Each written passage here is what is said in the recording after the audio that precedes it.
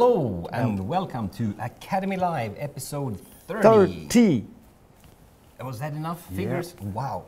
Uh, in today's episode, we are going to talk about collapsible reflectors. Things like this. Yeah. In and out, we're going to uh, talk about everything you need to know uh, how to use them and how not to use How them. How not to use them and which are used, which are meant to be used for what. That is what we are going to talk about because there is there is actually a lot of things to say about these guys. Yeah.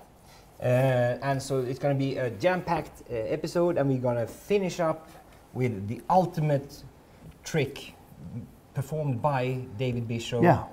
Uh, on uh, yeah, so I'm, Yeah. I'm not going to tell The you the ultimate trick. Yes. I will it's, perform It's it. worth Yes, waiting. yes. And if you if you're just watching and you don't like collapsible reflectors, and look at it afterward, fast forward to the end because you don't want to miss it. you can miss everything else, but not that. Uh, and we have a lot of friends, of course. Holly, hello, Holly. Uh, uh, we need to get you back on on broadcast. Yep. Sal, Eric got stuck in his keyboard apparently. Yeah, gibuff, gibuff. Yeah, right back to you. Yeah. Uh, Alex, hello from Washington. Washington. And then we have, I love this humor, Pete something. When it's a type something, I love that. It's my kind of humor. That's Anders' kind of humor. Yeah, exactly. And Jerome, hey son, hey son. And uh, David Sentifanto, thank you so much for the love that you're sending. Yeah. We got Western uh, North Carolina here as well. That's a beautiful one. Munich, Yeah. Munich, we got from Dubai. Thailand. Oh, California, Northern California, Guerneville, or whereabouts? Somewhere, uh, Russian River maybe, or Bodega Bay, even better. Maybe that's not Northern California. That's kind of still middle. You know that place. Yeah. I know that we have people out there that is afraid of my big tall glass of coffee here. And you should be afraid because you know a lot of electronics and you shouldn't have liquid on tables like this. Yes. So be afraid. Stay tuned. So far, it's gone well, but uh, well, we'll see. Yeah. 30, ep- 30 episodes still going. strong. Shintaro from Japan. Shintaro, our friend. Yes, love you. And hello, guys. Uh, Isidro, and we got Mich- Italy. We got oh, we got Seattle here, and oh, it's all over. Yeah, so North really, Haverhill. we really should fix that map. The map that where I we know. show And everyone. Joachim is here as well. Hello. And we got Korea as well from Seoul. Oh, Napa, near Napa. That's that. Now I know where. yeah. That's You're really into this with the, all, all the locations. I, it is kind of cool. I mean, we got Germany, Holland. I mean, it's just, and of course, uh, maybe not so uh, exotic, but still so important. Årsta outside of Stockholm. Yes. Everybody counts. The Great Årsta. If you haven't been in Årsta, you have to go to Årsta in, outside of Stockholm. Yeah. Hamburg, Belgium, and of course Sulan as well. Hello. Reckless. Uh, Montana. Oh, yeah. It's, it's kind of cool. I mean, there's so many people from all, all parts of the world, kind of, gathering here. together here. yeah, to listen to us. Exactly. about- And asking questions, which is something that we really love. yes. Questions, we love questions. Please Yes. pop in questions, uh, preferably about light, and even more if you have questions or opinions about these guys, collapsible reflectors.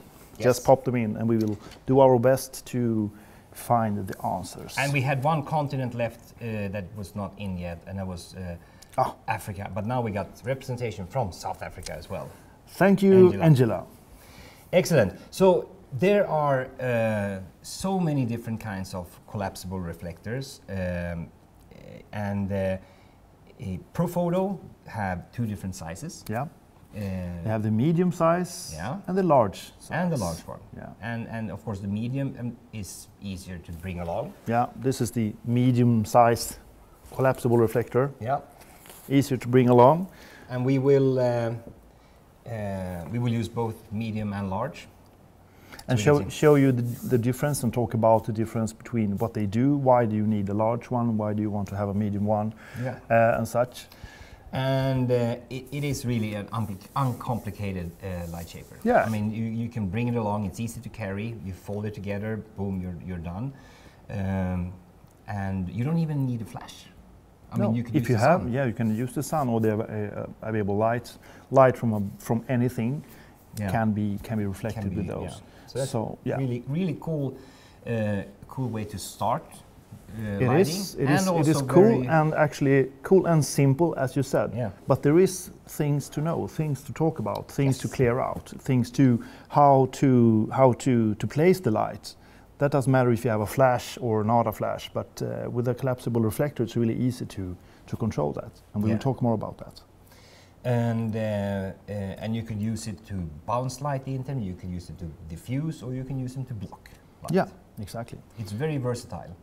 Uh, and, and then of course, you can use, and I have used, and you have used uh, all kinds of different material as. I mean, we use cardboard or Yes, uh, yeah. doctor's coats. Of course, or, i- know- instead of instead of a collapsible reflector, Yeah. know, just to, to reflect light. Yeah, so and you can use a lot of things, but there, there is a downside sometimes because you might get a tint from whatever the uh, the other uh, surface is. I would say you might get an unwanted tint. Exactly, yeah, yeah, Sometimes but yeah. you want the tint if you have like a Exactly, like the purple. like the purple tint. We all know the purple tint. Oh, Isn't that a beautiful? that. Yes, we love that one. Yeah. So the the collapsible reflectors are made not to have any tints except for the colored ones, of course. But if you do not wash your your collapsible reflector, I never tried it, but I suppose you can. You know, wash them if they get dirty. You get a, you're gonna yeah, get a you, you can. tint. Similar to kind of like. Uh, do we have any soft boxes behind us? Yes, we have one right here above my head. There, Yeah. Good pointing. without looking. Yeah, that's pretty cool. good. Yeah. Uh, I use the force. uh, and uh, uh, uh, sometimes they can get dirty, so you just use a mild soap. Uh, it, it's the best kind of uh, d- that you use for your delicates. Yes, or as I do with you.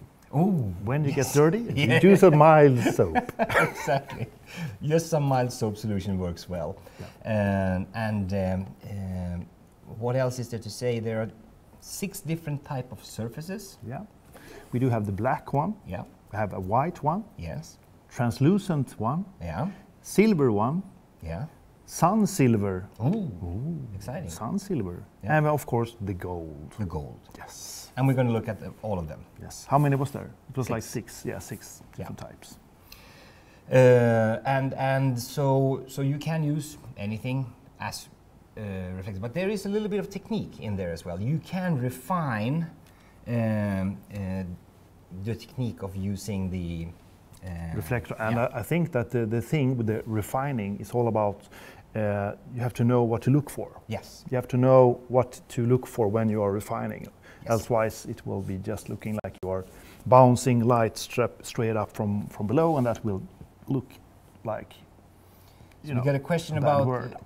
Profoto A1 for Sony. Still don't. I mean, it, it, the, the only thing that's been communicated so far is, is uh, first half uh, 2019. That's all we know. Uh, we did have, get a question here from Richard. Um in episode 7, we fired outside with, with the A1 uh, on Ken to get blue skies and it was um, to demonstrate how HSS works.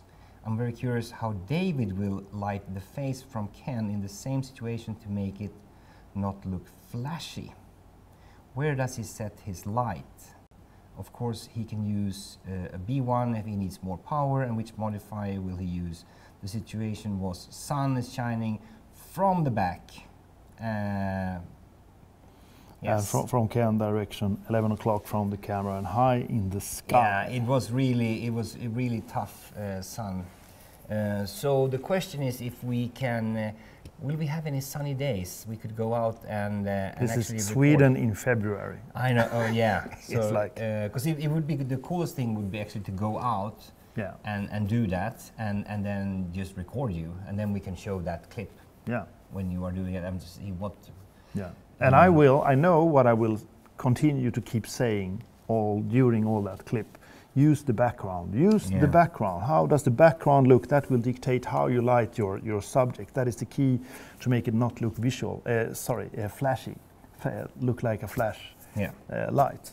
Uh, but we should do that to go outside and record it because Yeah. it's um, And we do have sunny days every now and then. Yeah, so, we so do. we'll do. We do. So we'll, we'll do that.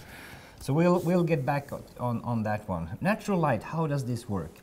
from Sherry, question there. Well, well, so um, uh, well, first of all, all light is basically the same thing. It doesn't matter if the light is coming from a, a Profoto flash or if it comes from a com- uh, uh, Burning car, yeah, burning car, or, or my favorite, the burning cat. a burning bath- cat in a bathtub. Yeah.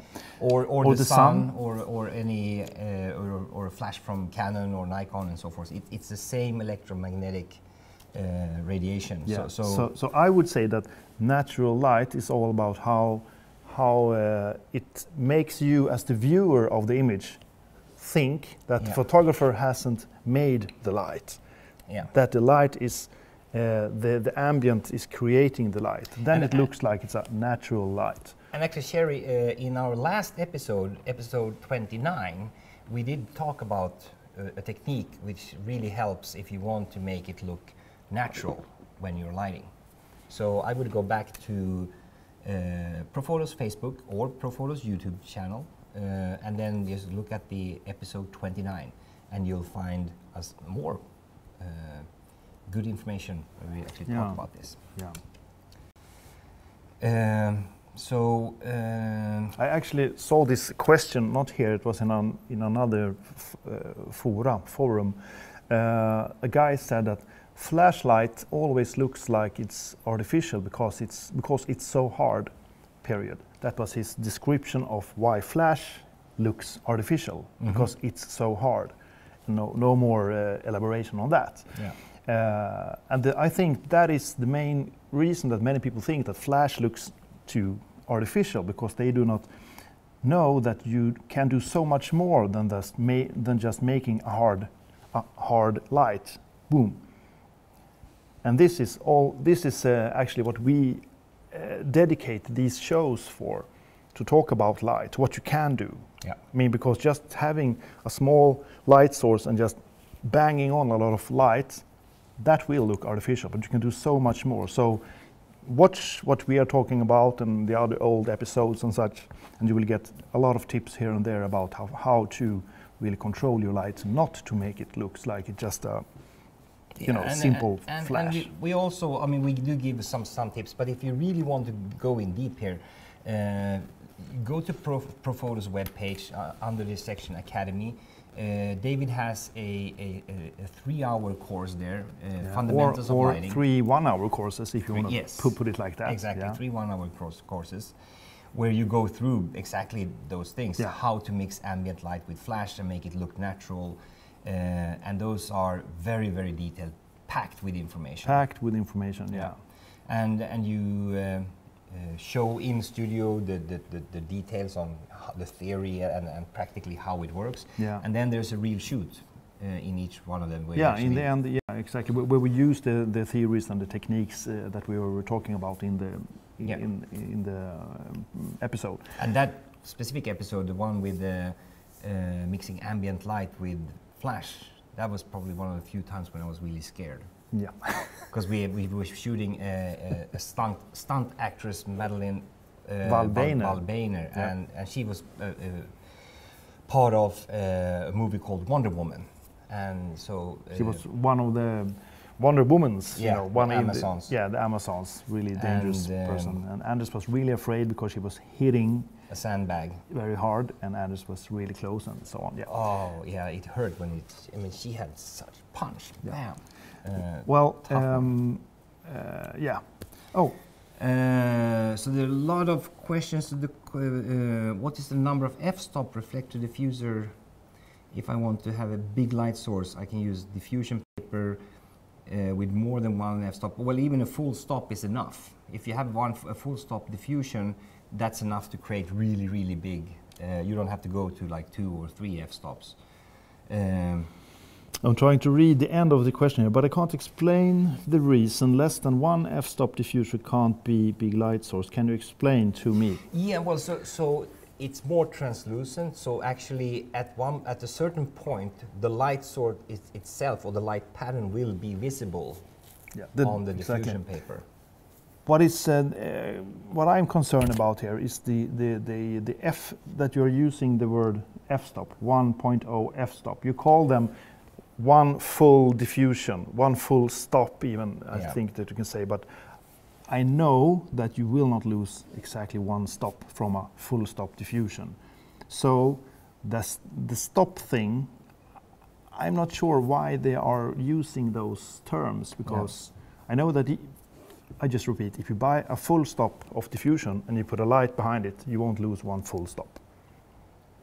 If you put it straight on, and as soon as you back it up, there's so much going on that you it's totally impossible to say exactly how much you will lose, but it will not be one full f-stop. So I don't know why they call it that. Yeah. I know Um, I have made experiments and tests and you know re- Measured. written, measured everything. Yeah. I don't remember them, but um, I have them. I have the, all the measurements somewhere.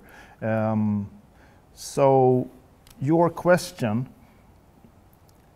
I think that the the key thing there is that when you have a thinner diffusion, you you're starting to see the light source through the material. And when you Yeah, because if, if you have a full stop, normally it, the, the, the whole material lights up like exactly, a light source. so then And you then are you then, then you won't have any hot spot. Yeah, So if you have a full stop, that means that you will not have any hot hotspot. And uh, if you do not have any hotspot, that means that your whole area will be your new light source, big penumbras, soft light. But the thinner material you have, the more you will see the hotspot. In other words, you will have a smaller light source yeah, and thinner penumbras and hard, harder lights. yeah. And uh, Jerome was also asking about his buying D2s to shoot some, uh, to freeze some action. Uh, up here, um, yeah, motion freezing. Well, the D2s are fantastic for that. I mean, they are really, really fast. Uh, I think you don't need anything else for that. Maybe you could uh, use the magnums, the uh, these guys, the OCF magnums. Uh, and they look something like this. Um, they are really small and uh, convenient, and they, they give you uh, two f-stops extra punch when you're using them uh, with the D2, for example. So these are really, really good to get extra energy. Why do you want extra energy? Because when you are um, freezing motion, you want a really short flash duration. And the less amount of power you have in your flash, the shorter your flash duration will be. In other words, if you put on one of these, you will uh, all the lights will go in one direction. In other words, more light will actually hit the subject. In other words, get brighter. go- yeah, so you can get lower on the power. Exactly, and I just have to try this on my coffee cup here just to see because it looks it's if it's that it is just perfect. Yeah, now it's safe. It's now you can feel. you can also use the Secure. OCF Magnum as a uh, tall coffee mug protector. Yeah, you can. And don't try to drink out of this. Uh, and, and so, so and then try to kill as much ambient light as possible. Try to get all the ambient light in the studio dark. I mean, if you can work in complete darkness, that's really good. But then it'd be difficult to see. Yeah. And why? Why do you need to? Why do you recommend to kill all the ambient light in the Uh, in there? because then you then it's the actual the, the flash that freezes the motion, and then there's no ambient light that gives you the uh, that lights up uh, after the flash has lit. Yeah. So Uh, you won't have any trails from the. Exactly. From So no motion light. blur. Now I want to drink my coffee, so I have to. This wasn't a good idea. It's, it's hard to get the coffee out, so I put this back. Maybe I should try the hard box to do that, No. or not. or not. Yeah. Um, so, question on group shooting. Uh, what reflectors or light diffusers um, you should use? I, I mean, group shootings, umbrellas are great. Umbrellas is a really easy way to get um, larger light sources. And of course, if you are in an environment where you can bounce light, even better. because then you can use the walls as new light sources That Yeah. is even bigger than any umbrella Yeah. ever that can create a really really big light source a good thing with, with umbrellas is also actually the, the thing with the um, it's uh, it's really easy to carry with you you Yeah. just you just bring it together and just walk away compared to a softbox or, or what have you. I mean a big giant that is a beautiful big light source but it's kind of tedious to you know get it up and get it down. So umbrella is a really good thing to use for group shots because they are often quite stressful and uh, you need to be up quick and run. So Yeah. not run would you say that? You need to be up and running quickly. Running. Yeah. Fast. uh, there's a question here that i really love uh, from Jan Kees Steenman. What is the best way to imitate a northern light, northern kind of light with flash? Soft and blue. Yeah, that is uh, actually we do kind of that in that in the third episode of the academy with the how to use the background. Yeah, that's We, true. we're doing that blue thing there, but Yeah. just to make a, a, quick answer to that, uh, up, I spent so much time in analyzing um, um, Vermeer, Hans, Hans Vermeer, no, no, Johannes Vermeer, sorry, Johannes Vermeer, a painter, a Dutch painter who really he paints uh, a lot of northern light, and I try to break break it down into details. So when I have my lighting courses, I'm trying to teach the different parts what you are what you need to be to to think about when you are creating your northern light. Yeah. And the, a short thing, the, the, the key things with to create a northern light, a blue, uh, a big soft light from a window, which is a northern light, no direct sun. That is uh, the background. Always that background. The background is key. If you create your your light on the background as it is, as um, if the light from the window hits a wall in the back, then you will believe that the light hitting your subject in front of the background is actually actually lit by a window light. Okay, and then you have that blue thing you mentioned. Uh, the the best way of making a northern light is to have those blue shadows. If you look outside of a window, the sun is on the other way. You have your sky. The sky is really blue, but you often have a more uh, natural light also coming in from from uh, from the horizon and from the clouds and etc. But you usually have some blue light, a blue tint also, and you create the same. You, you create the same thing by creating this big, even bigger light source that is blue. That you have, you can like uh, in a studio, if you if you light up the whole studio with a blue light, very very faint, very very weak. That means that all your shadows will have this faint blue tint, and then you have the rest of the northern light from a softbox or whatever, and the background. You separate the background from your subject, and with the blue tint from the third flash. So I would say three flashes to create a really, really nice window light, a, a, blue, uh, not a blue, but a northern light with blue shadows. Uh, and there is a lot of things to say about that, how you shape the background and such, but we don't have the time for that now. Uh, but I would say that that is key. The background is key. You have to create a background that looks like it is lit by a window, and then put your subject there and light your subject. Cool. Yeah. Um, oh, Umbrellas rules, Joachim. yeah, we do agree. We like them definitely. What makes Beauty Dish RFI that beauty? Uh, Some people say that beauty dishes are meant for beautiful people.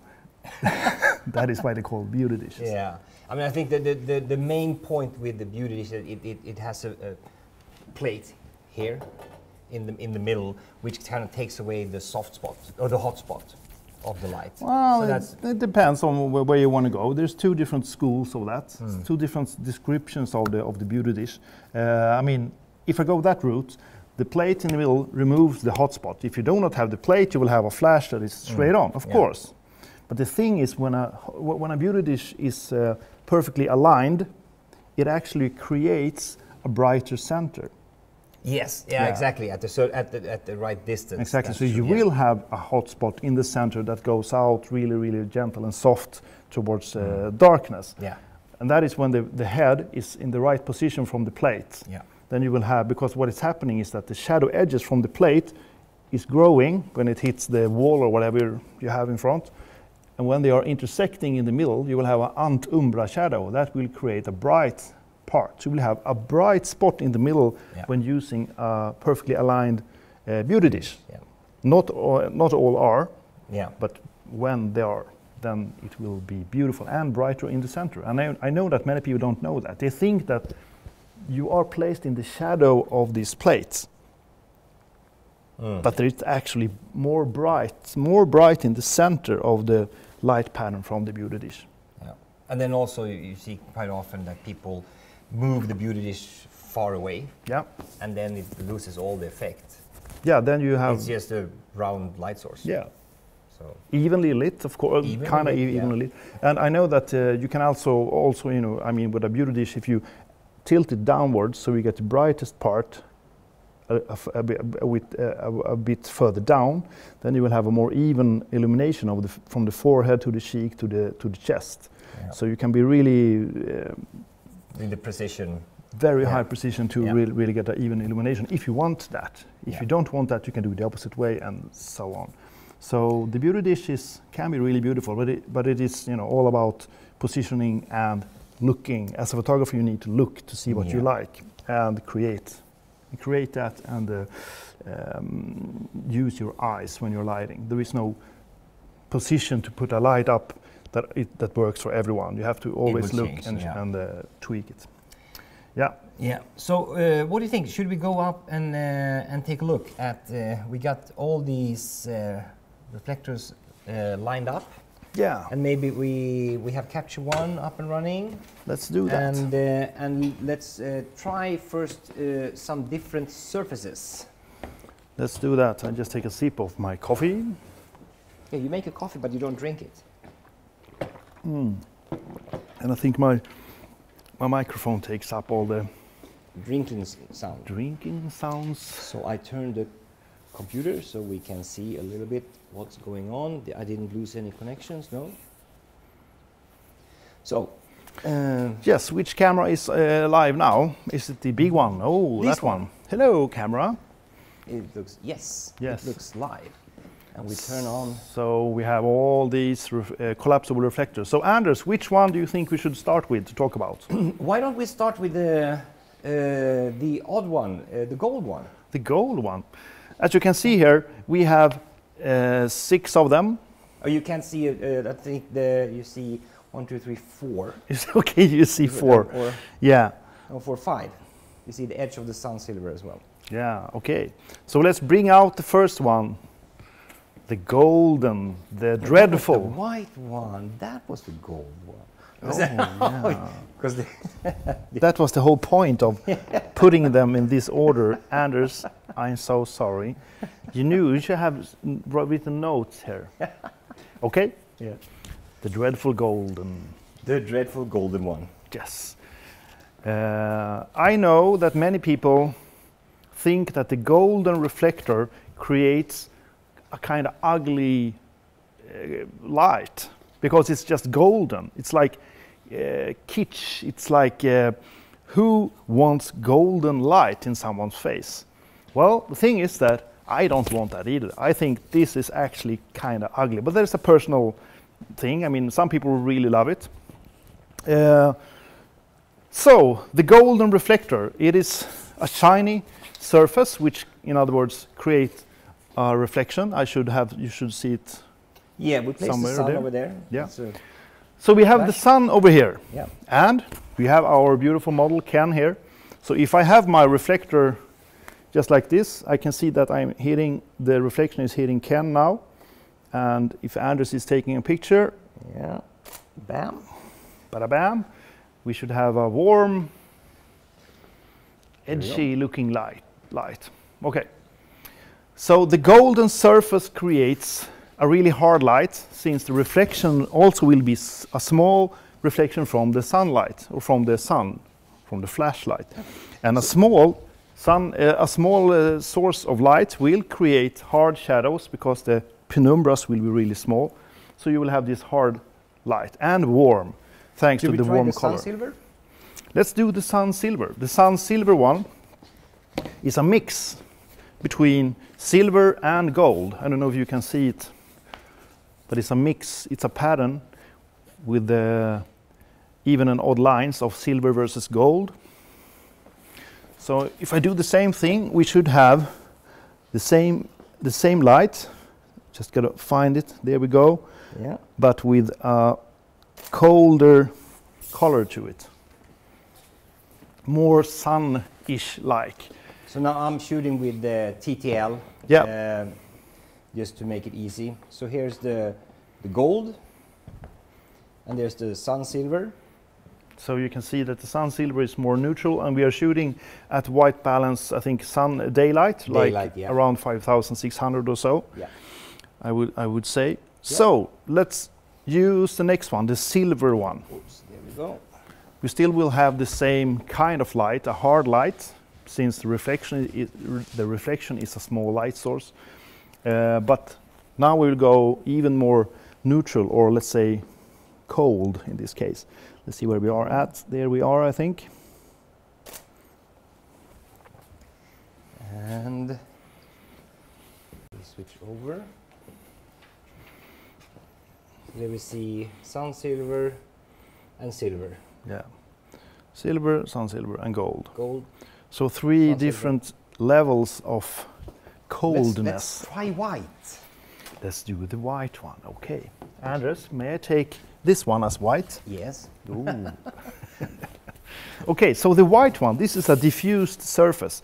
This means that you will not have a small reflection. In other words, you will have a big reflection or a big light source.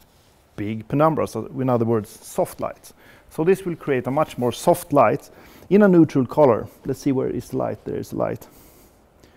I think we go there. Yeah. Do you have any nose shadow to show when you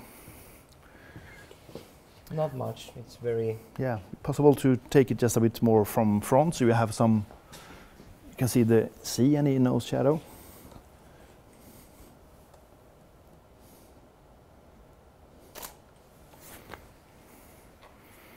That the we will not have any hard yeah. No shadow. It's really soft.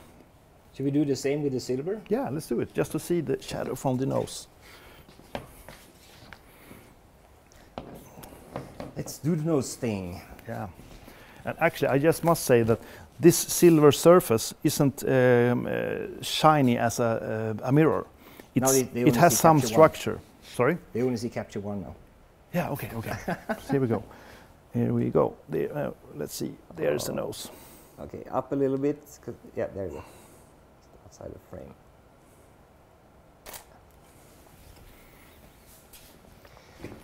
And there we see a much sharper No uh, shadow. Yeah, Exactly. And if we compare, can you switch back to, white.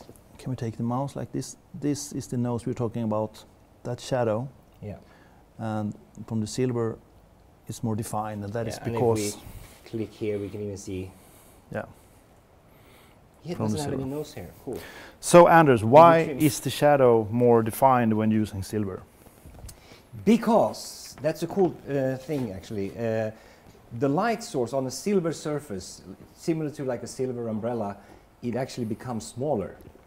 Yeah. And uh, and it's good because you focus, you get all the photons or all the spaghettis, as we say, into small spots. You get a little bit more power. Yeah, instead of the light going like this, like from a white reflection, boom, Yeah. you get it more uh, direct like that. Yeah. More spaghettis is hitting your subject. In other words, it becomes brighter. Yeah. And what happens to the shadows? The levels of the shadows when you do this with the light from a silver surface. Ooh, you get more contrast. Yeah, the shadows goes darker. Get darker because they don't hit uh, any walls or ceilings or Exactly. So the all the light from the other directions is gone. Yeah. In other words, you get darker shadows. So high contrast with silver, depending on what environment you have. Yeah. So why don't you set up a classical? Uh, uh, now, so now we've gone through gold, sun silver, uh, silver, and white. Yeah. Uh, should we try a, um, uh, a, a translucent? Translucent. Let's do a translucent. Yeah. Actually, let's do a translucent when the light is like this, when the light mimics a sun. But using it as a reflector, I mean. Yeah. Because this is ex- exactly as the white one. It will let some light go through, but a lot of light is still going to reflect. So this is just like the white one. That was the uh, point one. So let's give that a try. Get a little bit of shadow. Bam. So the translucent one also, one also works as a reflector, a normal white, non uh, translucent reflector. So that is Yeah. kind of cool because that you can you can use it in two ways. You will lose power, some power, but not much, maybe half of a stop or so. Yeah. And then, of course, the translucent one is really great if we do like this. Yeah, so uh, for imagine you're in Santorini, you have, you have a strong sun, and then you want to uh, uh, soften that hard light that you get from the sun. Then the translucent umbrella or translu translucent collapsible reflector, reflector is really good. Yeah.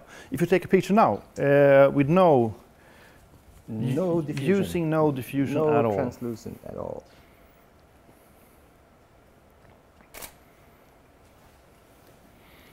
Oh, Whoa. that was a really nasty one. Maybe one more, 6.5 here. So Let's try that. this is 5.5. Okay. Anyway, you s- you clearly see that the Yeah. shadows are really hard. The edges of the shadow under the nose are really really hard, and that is of course again because the light source is really small. Yeah.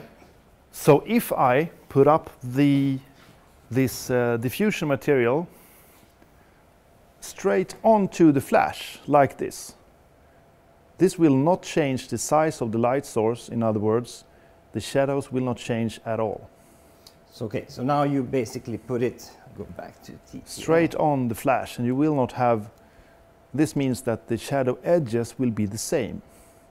You might have a slight difference in contrast due to the, the spread of the light hitting more walls, but the shadow edge will be the same. Yeah, you can see it here.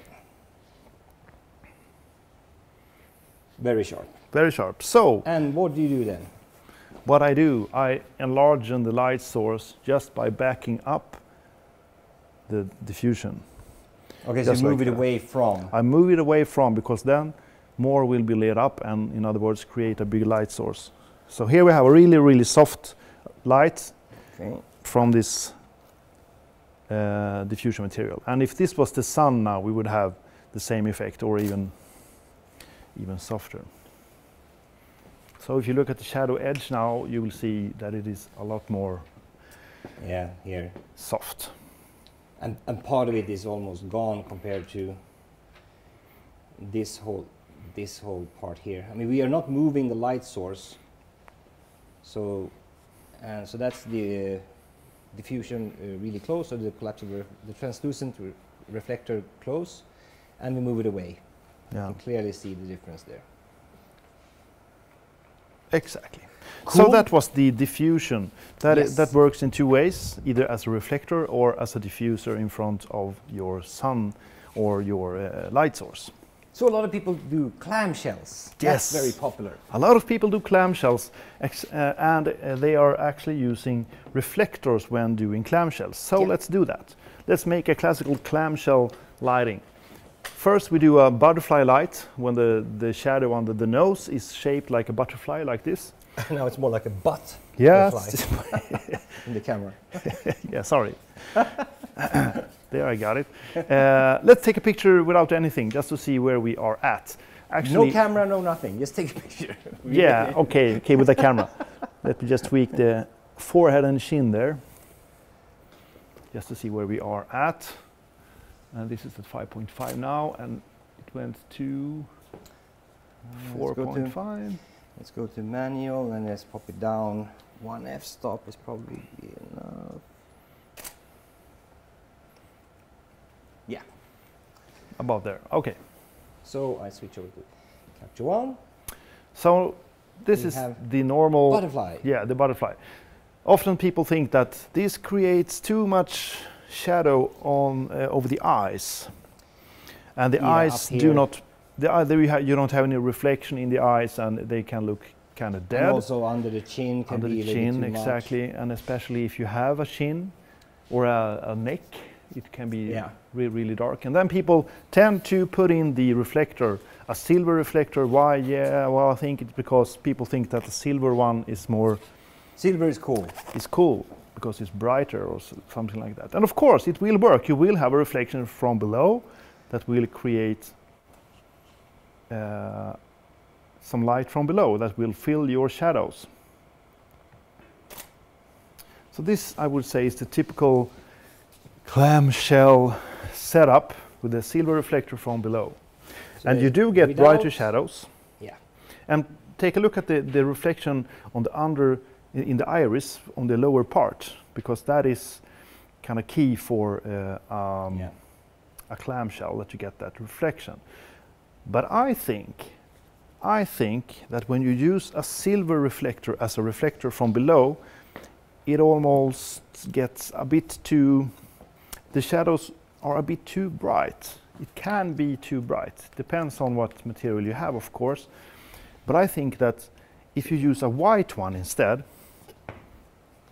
then you will have less aimed, le- less direct light, which will create a weaker light. In other words, your shadows will be a bit darker, but you will still have the reflection from below and actually a bigger reflection since the white reflector will become a bigger light source. So I th- think that often white is better than silver to reflect from below. So there's the silver and there's the white. Yeah. So let's see where we are at. You can see that the reflection in the eye also is uh, less, uh, a lot more. It's darker. Yeah, it's, It's not, as, as. It's not as you know. Doesn't look like a flash from below. Yeah. It just pop pop the iris from below. There's a yeah, there's a little bit in the iris. yeah. You can see that at, Yeah. the, at the bottom end. That's nice. Yeah. So if you switch between the silver and the white, just to see the level of light Silver? in reflection, look under the nose. That is where I'm looking. Under Yeah. the nose, brightness from the silver. I think it's too bright. The the the bottom of the nose gets a little bit too much light, but with the white one, it's a bit tad darker Darker, yeah. and doesn't feel so much like a fill light. It's it's just there. It's Yeah. just more controlled. I think. Uh, That's cool. And of course, it's all a matter of taste. If you want to have that silver look, Yeah, fantastic. Just go for it. fantastic. I mean, As long as you're happy, that's that's great. Exactly. Uh, another thing that people do quite often, you have a, if you set a short light Yeah, and uh, then maybe this side is too dark. yeah. And they use the reflectors to fill. Do a Exactly. fill and then you, I mean, well, you have the white one there. I do. I, I mean, I, I- admit, I, I'm, this is me. Yeah, The opposite. I You- think you place it exactly. opposite. Because you see a shadow there, and I think that many people think that, oh, there's a shadow. Let's light into the shadow on the opposite way from this light source to eliminate the shadow. And so let's take a look how that looks like. yeah, let's take a look how that looks. Am I in frame or no? No, not in frame. So the opposite way from the light source will create this look of the fill light. Yes. And if we, I mean, again, this is a matter of taste, what you Mhm. like and what you do not like. Uh, but the, for me, this is a clear situation where you have tried to fill the shadows. For me, it screams a photographer wants wants to fill the shadow. It's really, really obvious that you have something white over here. And this dark line that goes on the forehead down on the on the cheek down here, that really tells me that you have a fill light from coming from right. And that line can actually look cool. I, I- I don't say that it is anything wrong with it, but you should be aware of that when you are filling from the opposite side of your light source, It will be quite obvious that you are just doing a fill. So if you want to be more natural looking, you know, not as um, so you don't get the What would feeling that a man is or a woman is uh, lighting it artificially. I would, I am always trying to put my fill light from the same direction as the, the, the main light source. Mhm. But of course, it's po- impossible to do it from the exactly the same direction, but more frontal. So instead of doing like this, Yeah. I try. me. Yeah, that's you. This is That's you. me.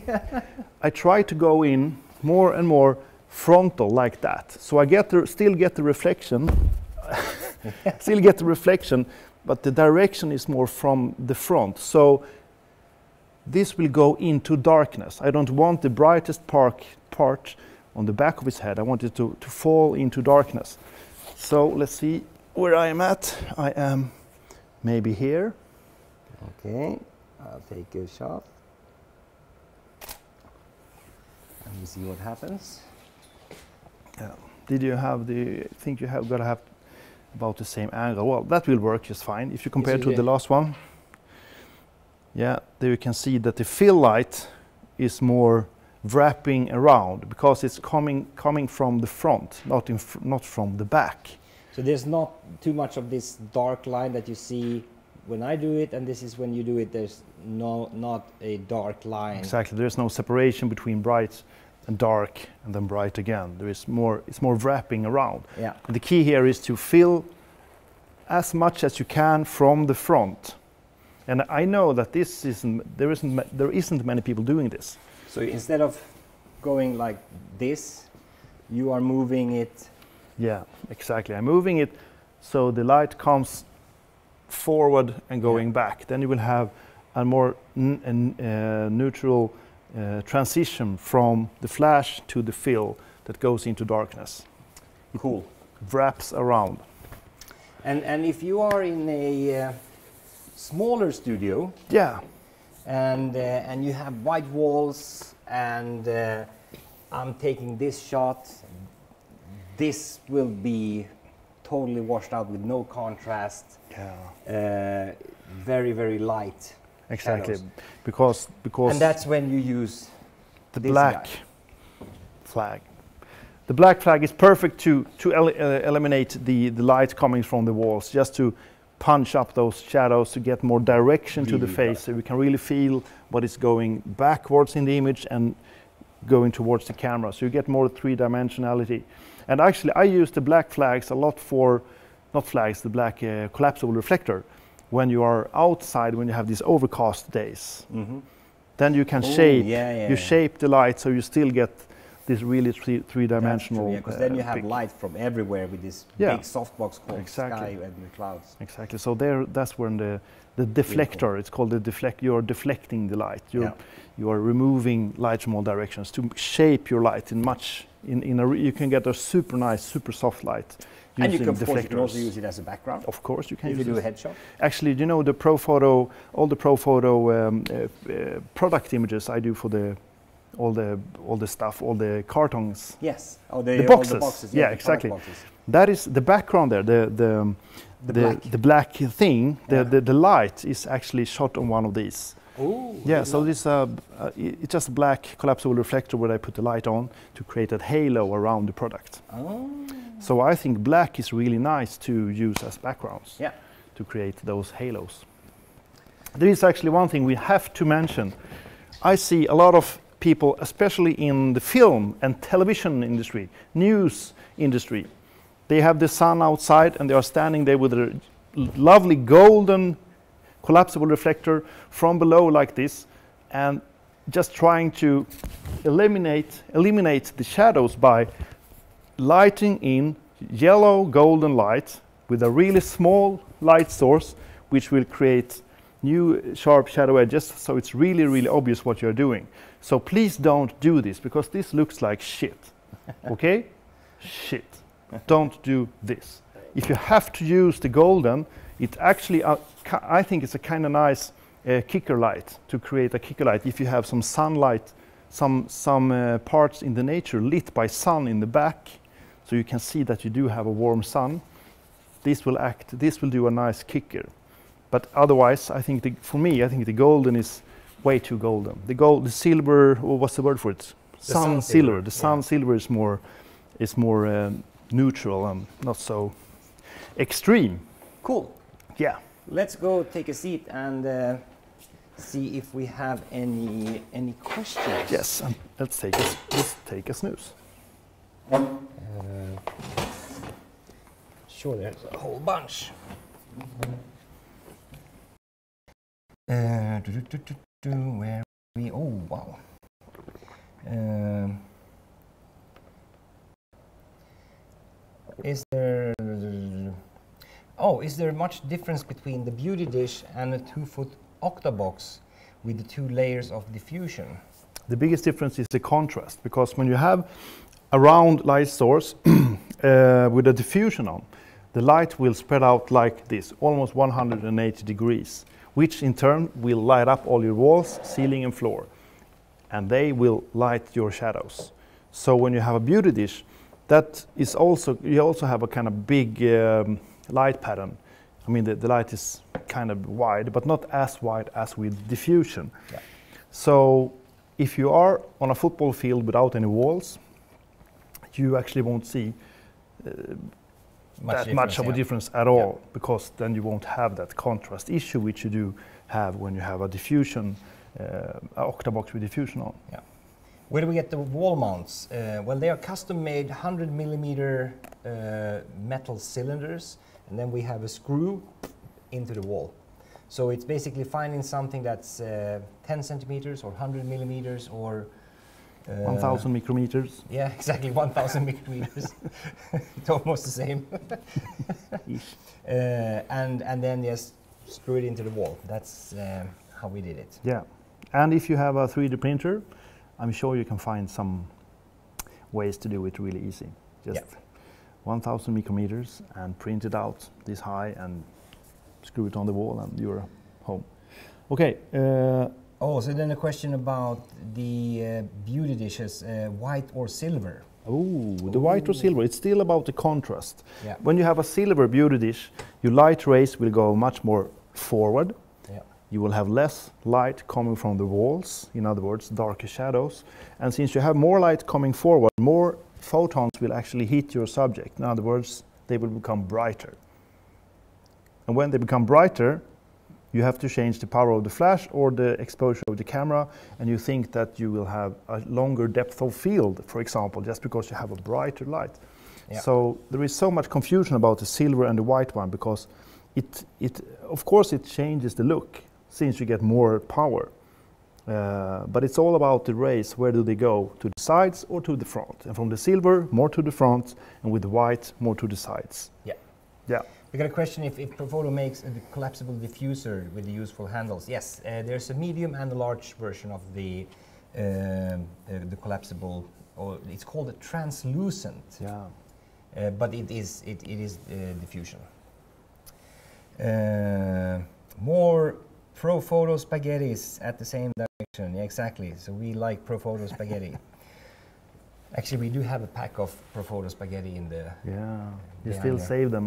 I d- yeah, I do. So we use them for demonstration purposes, and since we're not sponsored by any spaghetti maker, we just put black tape Yeah, we don't want to give anyone any. Oh no, free advertising. No, no, since no, we're such a big, we're such big, uh, uh, what do you call those uh, influencers, bloggers Yeah. with millions and millions Yeah, of it's, followers. it's really expensive to have us say Barilla or something like that. Oh, you did it. We got a, we we had a- got a question from, from Matthias Yeah. Sulan Sulander, Mr. Reckless. Uh, he says, would be so cool to hear a little about thrown shadows and self shadows. And uh, I don't know if we, we can go into that now, but you know any episode where we talk about that because it's really important. Yeah. You have to know the difference between those two kinds of shadows, thrown shadows and self shadows. If you don't know the difference, you won't know what you are doing. So you need to know that. And I'm not allowed to talk about that because then Anders will hit me with his elbow. We got like seven minutes left. Oh, yeah.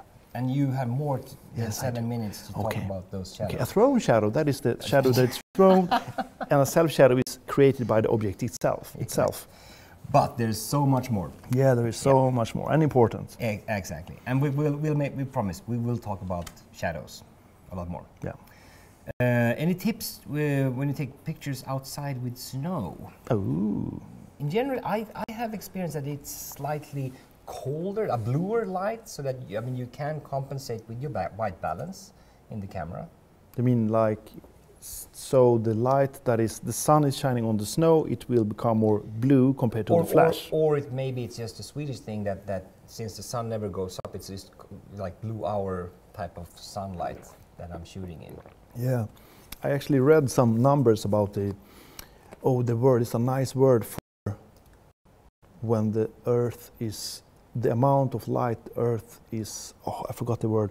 Well, there is a color of snow that is, you know, uh, it has a defined color, and I do not recall it to be bluer. I think the scientific definition of it was true, super yeah. neutral. Yeah. So I think it's the blue sky you get reflections from there, or the blue hour thing, yeah, exactly. which is the blue sky. yeah. Uh, do, do, do. Uh, when I use a, white umbrella, there uh, and there have a, a B1 in the center, it, it, will that make the center of the light pattern a bit darker? Oh, Ah. so you have a white Yeah. umbrella and then No, You, it will not. And the reason for that is that you have a thrown shadow. the shadow from the B1, it will mathematically cast a shadow. But so here's an umbrella. yeah, is okay. The, the, okay, then here's the B1. Yeah. So the umbrella, the light source is bigger than the, than the B1. This will create shadow edges from the B1 that is stretched out so much that they will intersect in the middle and they will disappear. Yeah. So you will not have any shadow from the B1. Unless you shoot something like yeah, one of course. right behind. Of course, exactly right, right behind. But, but actually, if you if you're standing like this, looking into the B1 Yeah. or the B10, sorry, the B10, and so you don't see the umbrella because you are you have it in your eye, and when you move your eye further away, when you're starting to see the umbrella on all sides, Yeah, that's the distance. that is the the exact position of where you get the antumbra, and that is where the shadow edges are intersecting in the middle, and you will have a brighter spot in the middle. And when they are equally wide on each side, boom, no more shadow. Yeah. So you won't have any shadow there, no. And looks like we helped Mark a little bit. Uh, so much easier to shoot through a translucent reflector than uh, a shoot through umbrella outdoors. Thank you for showing me the light. Awesome. We're always happy when we can help.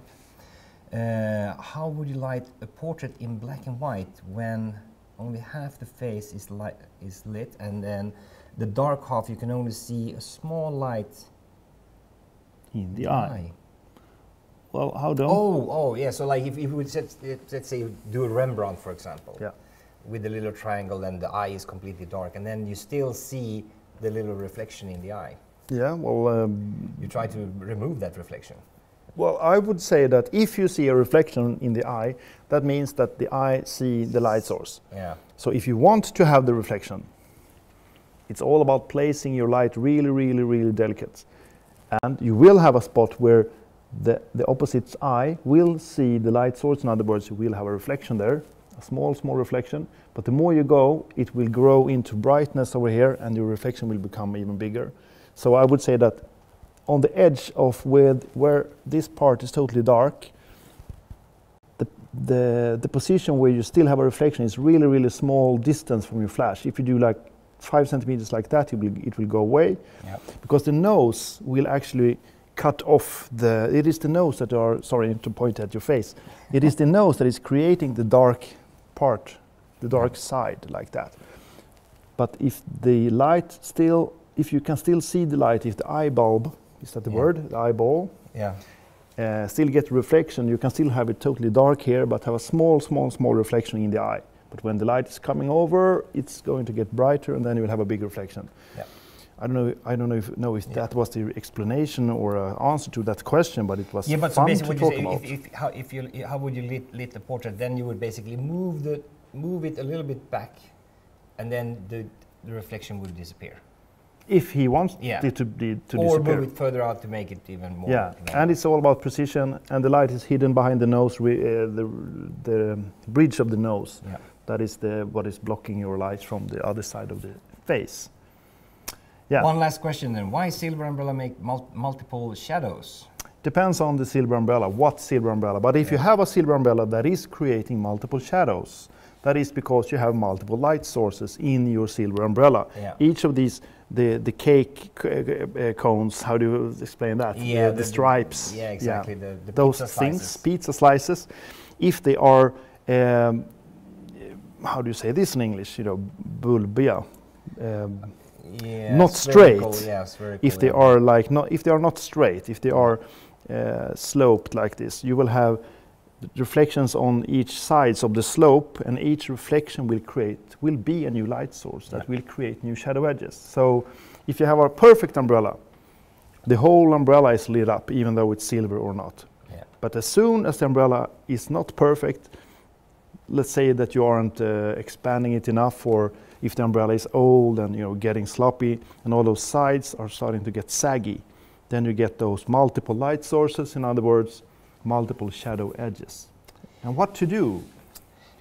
Then you can Put diffusion on it. put it put a diffusion on yeah. And I, actually what i would do the first thing to do is you have to be aware of how your how your light source look. If you have a light source you you take a picture into your light source with your flash into the light source and change the position of your of your light source your, your flash and see how that changes your light source the umbrella. Yeah. in a certain position maybe it's better. Maybe you have less of those multiple light sources inside. That is your sweet spot. So do like this take a lot of pictures and learn how your light sources look. Yeah. We had uh, Jan Kies continuing on the portrait, uh, the dark portrait. Okay. would you use a grid? Uh, for it has For nothing to do with that exactly Yeah, because it, it, it, it won't make any difference. No. Uh, the well, there could be a small difference. You might actually be able to see the grid in the reflection. yeah That's the only thing that. So I would say no. yeah because the grid Yeah. the, the only thing the grid do it removes the light that goes in these directions instead of that Yeah. you still have the same light going forward Yeah. with or without the grid but if you have walls over here Yeah. they will be lit up and fill your shadows so the grid controls your contrast nothing else and of course your, your uh, light image where the light will hit but if you want to use a grid for making that part darker and that part bright that is not the way to go i would say Yeah. Joel, hello, welcome. Finally, you're late. We know that, but we know that you also look at these when we repost them, and uh, they are they will be available. yeah And John said, yeah, concave. Yeah, exactly. So thank you yeah, thank you so much for helping us out when our language skills are yes failing. But we uh, are Swedish, Yes. uh, as you probably Bear know. with so us. We, there, every now and then we do miss up uh, on some words. yes But now, I think it's time for uh, the uh, probably the coolest David Bicho trick ever.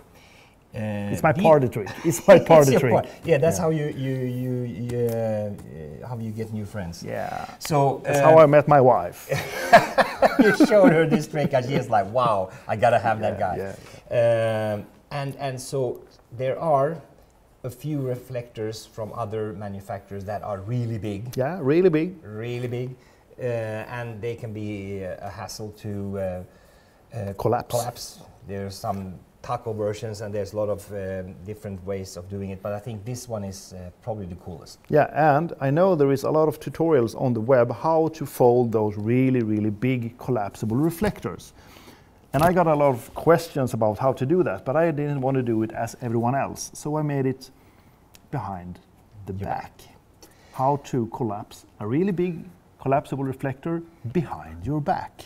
Huh? And uh, and it, it's in, in step instructions. Yes, so it's really six steps, I think. Yeah, six steps. So you can follow. yeah. So let's take a quick look at that. Yep. Uh, and here are How to fold it behind your back.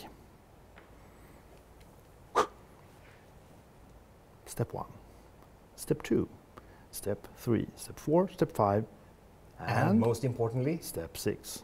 straight arms. Very very important. Very important. You cannot, you can't do it with, with, with you know, with arms Bent, like this. yeah, no, you have no, to have no them straight. style points No. if you if you don't No. do that. The straight Uh, arms is, is key. and, and for those of you who want to see this over and over again, like me, uh, just go over to David Bicho's, uh, just put in David Bicho on YouTube and, and uh, find his channel, and, and you will. Uh, I think it's on my web, web page too, web As well, yeah. under It is a pretty cool trick, though. I must uh, admit that. So, anywho, everybody, thank you so much for a uh, great session. Love you guys so much. Uh, thank you for showing up every uh, Wednesday. Uh, next Wednesday, I think uh, there will be a a wedding uh, theme. Wedding theme. Yeah, so we might have a wedding photographer here and as a guest. So we have to behave. You have to behave. Yeah. uh, and uh, uh, so uh, wedding will be the uh, topic, uh, wedding photography. So do uh, show up and come loaded with a lot of questions. We have. Uh, uh, uh, Not about weddings, but about wedding photography. exactly. Yeah, yeah. And yeah. we'll we, uh, and we'll have an expert here to help us answer Perfect. all the questions. Cool. And there might be a challenge to you actually. A challenge? Yeah. Ma- Will I know it before in advance Uh, or not? depends on how you behave. Okay, Yeah. I will buy you a Semla. Yes, exactly. Thank you so much.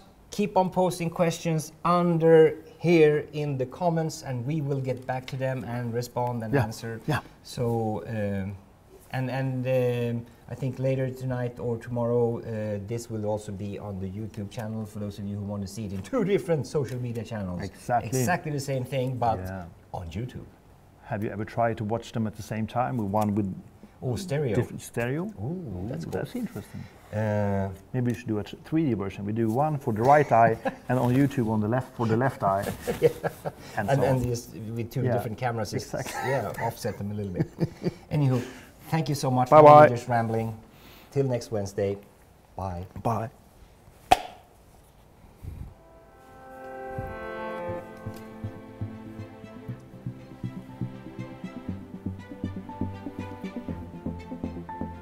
Do you want to learn how to mix flash with ambient light? In this course, we scrap all the unnecessary, overwhelming information that you see online today. Here's what you actually need to start mixing flash with ambient light. My name is David Bicho. I am the light shaping expert at Profoto Academy.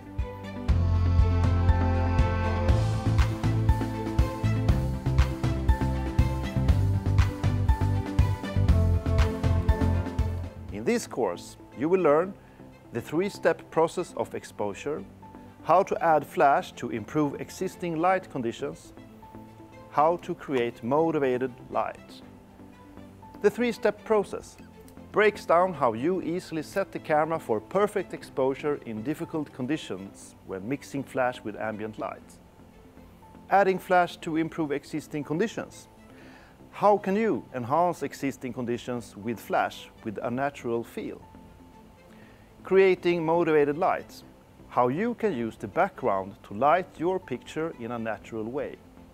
So join me in this course and I will show you how to get started today, no matter what the equipment you are using.